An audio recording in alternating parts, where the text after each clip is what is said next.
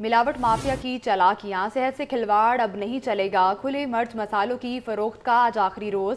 Punjab food authority نے پابندی عائد کر دی ہے۔ نئے سال کے پہلے روز سے پیکنگ شدہ مسالے فروخت ہوں گے۔ آپ کو اپڈیٹ کریں تازہ ترین تفصیلات کے حوالے سے۔ اور ملاوٹ مافیا کی چلاکیاں اب زیادہ دیر نہیں چلیں گی۔ صحت سے کھلواڑ اب نہیں چلے گا۔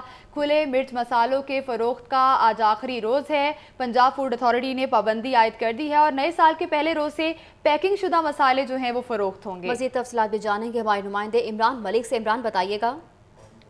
ہاں جی بالکل، چونکہ فوڈ اتھارٹی کے حوالے کا یہ کریکٹر ہوا ہے اور اس حوالے سے نئے سال کا شاندار آغاز کرنا ہے، جس میں ملاوٹ زیادہ مرچ مسالہ، جات سے نجات کا جامعہ منصوبہ تیار کر لیا گیا۔ ہے ڈی جی فوڈ تھارٹی کا کہنا ہے کہ یکم جنوری دو ہزار انیس سے کھلے مرچ مسالوں کی فروخت پر مکمل پابندی عائد ہوگی اور یہ ایک بہت بڑی خبر ہے شہر میں۔ اور پابندی کا قانون جون دو ہزار سترہ میں لایا گیا تھا۔ ان کا یہ کہنا ہے کہ اٹھارہ ماہ کا بزنس ایڈجسٹمنٹ ٹائم دیا گیا تھا، جس میں اب مکمل جو ہے جتنے بھی مسالہ انڈسٹری اور تاجروں کو تربیت بھی دی گئی ہے اور ان کے ساتھ قانون سازی بھی کر لی گئی ہے۔